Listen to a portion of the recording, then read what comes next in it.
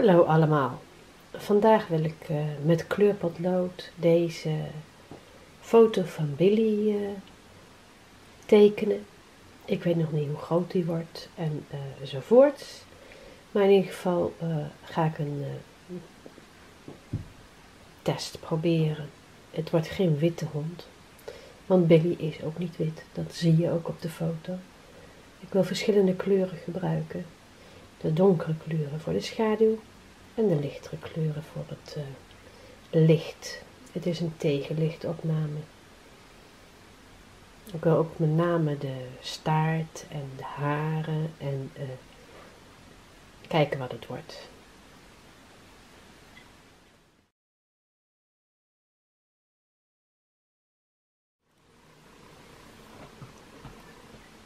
Ik wil deze film uh, eigenlijk weer met uh, kleurpotlood doen. Daarvoor maak ik eerst een schets met mijn uh, gewone potlood. Mijn gummetje waar ik heel precies mee kan gummen en die ik met een puntenslijper kan aanslijpen en mijn gewone gum. Daar ga ik mee schetsen, daar begin ik mee.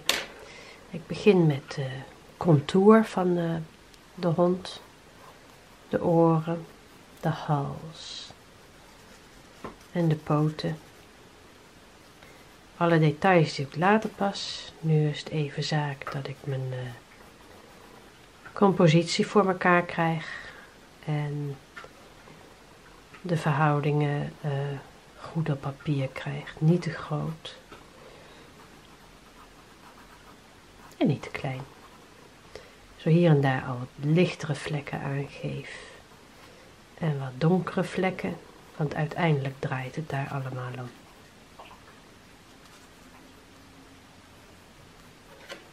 Ik schets heel dun, zodat ik uh, straks nog wat kan uh, wegvegen als dat nodig mocht zijn. En uh, alleen in eerste instantie nog maar de contouren.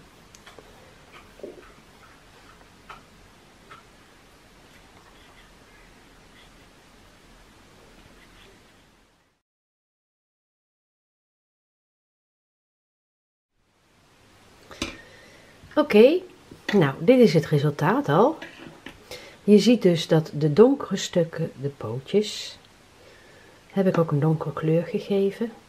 Het achterlijfje heb ik donker, maar om nou een beetje te spelen met die foto heb ik hier toch ook lichtere effecten gegeven. En hier met name dat benadrukt, zodat het wat uh, aantrekkelijker wordt in de tekening. Dit uh, gedeelte heb ik overdreven.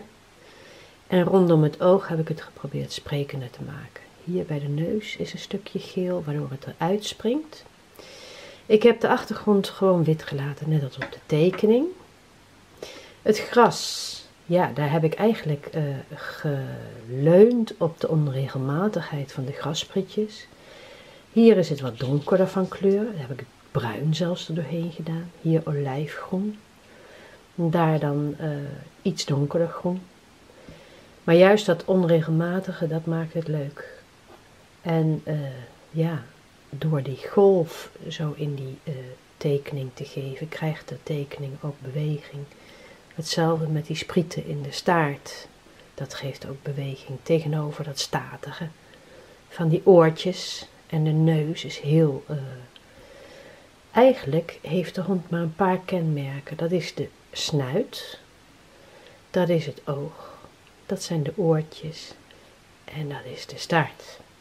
Natuurlijk ook het uh, gedrongen lijfje. Oké, nou, ik hoop dat jullie hem na gaan maken of in ieder geval uh, ermee aan de slag gaan. En uh, dit was dan de les, de tekenles met kleurpotlood. Heel veel plezier ermee. Tot de volgende keer. Groetjes Marielle.